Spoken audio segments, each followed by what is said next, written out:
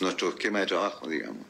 Eh, la, hay, la compañía que está acá en Colón también estuvo, esa misma noche que se quemó FM Habitat, hubo manifestantes que ingresaron ahí, esa, esa fachada histórica, hay que decirlo, ¿no? La, Sí. la fachada de Colón, del cuerpo bombero. Eh, y, y se podría haber quemado, se podría haber incendiado, sacaron escombros de adentro, sufrió daños, me imagino eso. A ver, eso, nosotros como Cuerpo Bombero Punta Arena, eso está a cargo de arquitectura. De arquitectura. Ellos tenían, había una empresa contratista que estuvo trabajando antes que se paren los, los trabajos de reconstrucción del cuartel. Sí.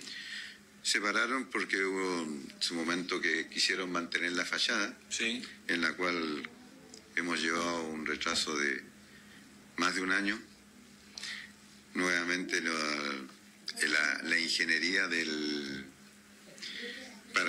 la reconstrucción se atrasó nuevamente, así que vamos a seguir esperando un harto tiempo todavía para poder lograr lo que anhela la segunda compañía. O sea, en esto ya vamos a cumplir ocho años increíble. para la reconstrucción de un cuartel, entonces eh, no son fáciles los tiempos. Eh, están viviendo en el Consejo Regional, que es un lugar que es incómodo, o sea, pueden estar con una máquina, la otra máquina está en otro cuartel, entonces nos crea unos, eh, unos inconvenientes de operación, digamos, con la segunda compañía ya por el retraso de la reconstrucción de este cuartel.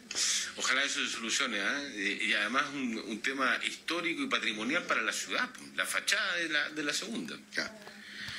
Por eso te digo, vamos a cumplir ocho años en espera de reconstrucción, o sea, ha sido un largo tiempo de una compañía que ha estado, digamos, operando a media porque no tiene las comodidades, digamos, para poder estar 100% en operación.